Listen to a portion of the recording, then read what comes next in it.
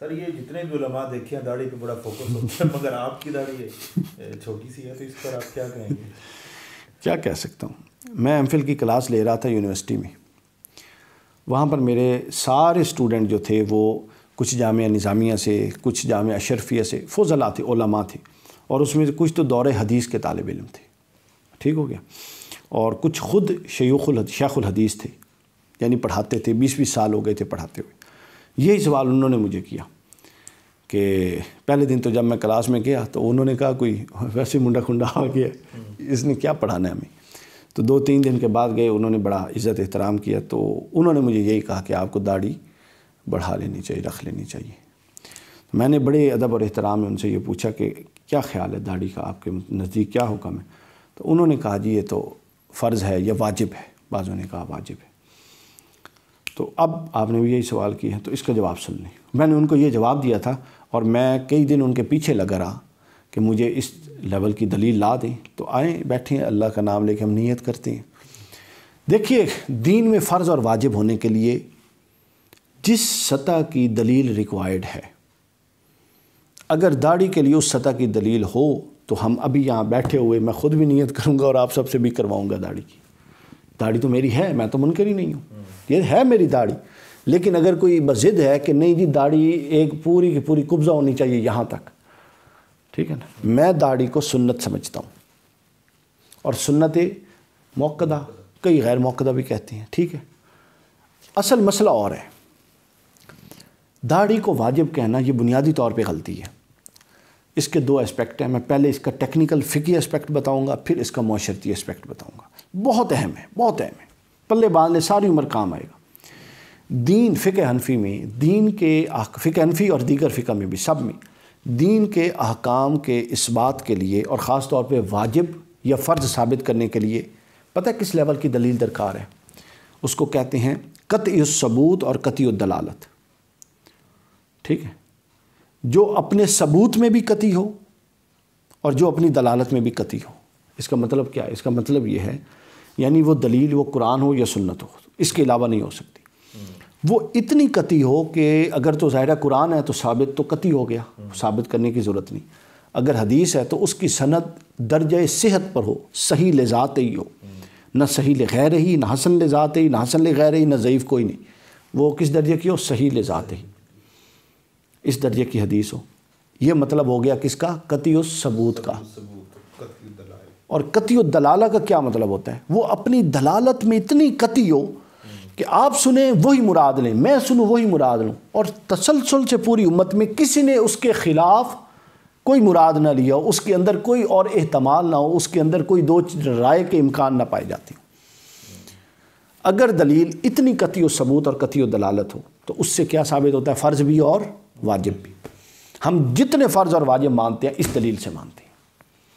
और जो जो शरीयत का हुक्म इस दलील पे पूरा नहीं उतरता, वो फ़र्ज़ और वाजिब के दर्जे से निकल जाता है, वो नीचे आ जाता है। सुन्नत, मुस्तहब मुस्तासन अबाहत, इनमें आ जाता है। और दूसरी तरफ़ यही है, हराम और मकरू तारीमी मानेंगे इसी दर्जे से। अगर कोई चीज़ इसी सब, कतियो सबूत और कतियो दलालत से वजाहत है कि ये हराम है, मना की गई है, और कभी किसी ने इसको हराम मानने में इनकार नहीं किया और वो अपने सबूत में उसके पीछे जो नस है, वो कुरान या हदीस सही लजात ही की नस है तो फिर वो हराम या मकरू तारीमी मानी जाएगी। अगर वो उस दर्जे की मना नहीं है तो वो फिर हराम मकरू तारीमी के दर्जे से गिर के मकरू मकरू तनजीही कराहत, ठीक है, नापसंदीदा खिलाफ ओला इन दर्जों में आ जाए। तो समझ आ गई?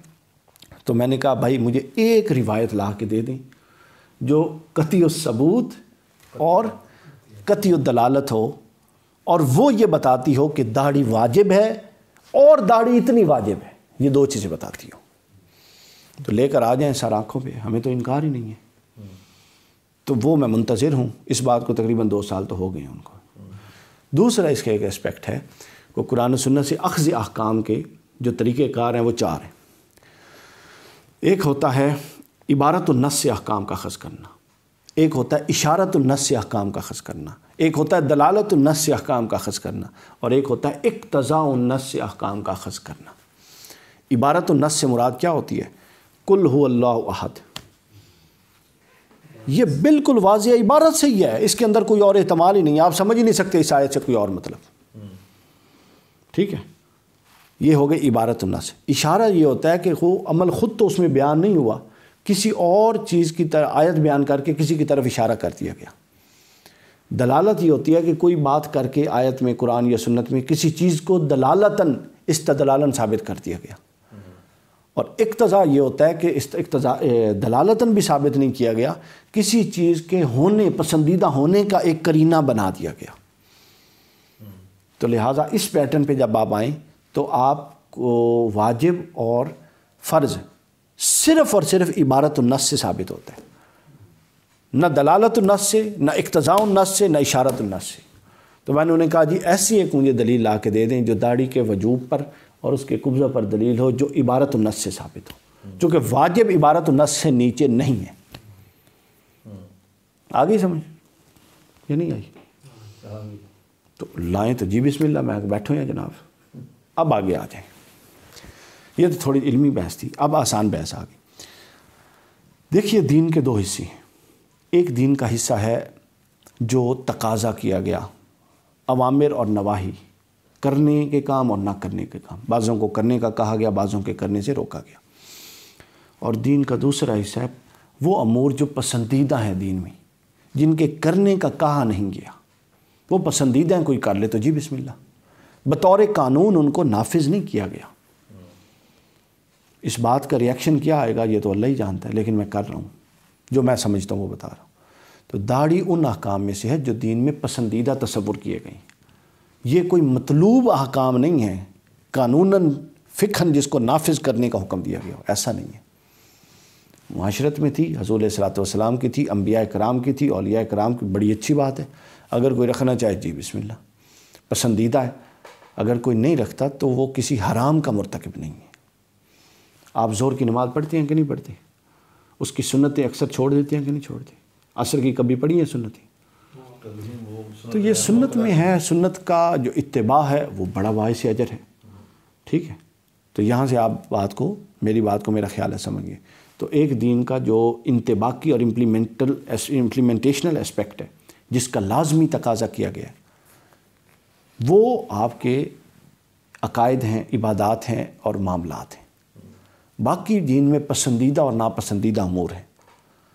तो दाढ़ी उन अमूर में आती है जो पसंदीदा हैं, मतलूब हैं, कहे गए हैं, कर लें मुस्तासन है। इसी तरह लिबास है। लिबास कोई मतलूबा दीन में नहीं है। कोई ख़ास वज़ा कता, अगर कोई कहे कि ये दीनी तकाजा है और कुरान सुन्नत से साबित है तो उससे बड़ा मैं समझता हूँ उसको कुरान सुन्नत पढ़ा ही नहीं। बिल्कुल नहीं। हजूल इस्लाम अपने दौर का जो बेहतरीन लिबास थे, वो पहनते थे। अगर वो आज होते तो आज के दौर पर बेहतरीन लिबास पहनते।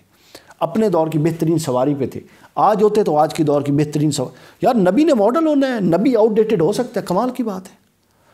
आज होते तो आज के दौर के बेहतरीन लिबास पहनते। तो लिहाजा सुन्नत क्या है? आज के दौर का बेहतरीन लिबास पहनना सुन्नत है। हजूर ने अपने दौर का बेहतरीन पहना। तो लिबास का तो माशरे से ताल्लुक़ है। इस्लाम ने लिबास के लिए कुछ पैराडाइम्स बता दिए शरात बता दी। वो लिबास, ये शरात पूरी करता हूँ। पहली शर्त उसकी क्या है? वो जीनत वालों से खूबसूरत लगे, अंदाज़ा कर लें। पहली शर्त ये है दूसरी शर्त यह है कि वो सातिर हो। जो आका, जो जिसम के अजू हिस्से छुपाने का हुक्म दिया गया है उसको कमा को छुपाता हो। ये नहीं है कि तमाशे की तरह छुपाता हो कि वो इतने टाइट कर दिए जाएँ कि वो आज़ाई वाजे हो रहे हो। वो लिबास के बावजूद नंगे के हुक्म में है वो चीज़। समझाई? तो जिसम जो छुपाने के हिस्से उनको छुपाता हो। सातिर हो, खूबसूरत हो बस ये दो तीन शरात हैं बस और कोई शर्त नहीं है उसमें। तो जो इन शरात पे पूरा उतरेगा, वो सुन्नत लिबास सबर होगा। क्यों? क्योंकि उसके खिलाफ सुन्नत होने की दलील कोई नहीं है हमारे पास। हम समझ आ गई ना? तो लिहाजा हर दौर का बेहतरीन लिबास उस दौर के नबी ने पहना। हर अपने दौर में जो नबी थे, उन्होंने बेहतरीन सवारी की। नबी सबसे प्रोग्रेसिव, डायनामिक और आउटडेट और अपडेटेड लोग होते थे। तो लिहाजा हमें भी प्रोग्रेसिव डायनामिक और अपडेटेड बनना इसलिए हजूर ने फरमाया, मोमिन का हर दो अमल, दो दिन मोमिन के एक जैसे नहीं हो सकते। उसका अगला दिन पिछले दिन से बेहतर होगा। तो वो बेहतर किसमें होगा? अमल में भी होगा, अखलाक में भी होगा, इल्म में भी होगा, लिबास में भी होगा, पैसे में भी होगा, हर एक में होगा। ओपन है। हजूर ने तो कह दिया, बेहतर होगा। अब कौन, को, किसकी, किसी की क्या ज़रूरत है कि वो हद लगाए? इससे मुराद सिर्फ़ दीन की बेहतरी है। नहीं हो सकता भाई। यही तो मसलक क्या मसलक क्या है? अभी मैं ऑनलाइन लेक्चर में भी यही बता रहा था ना।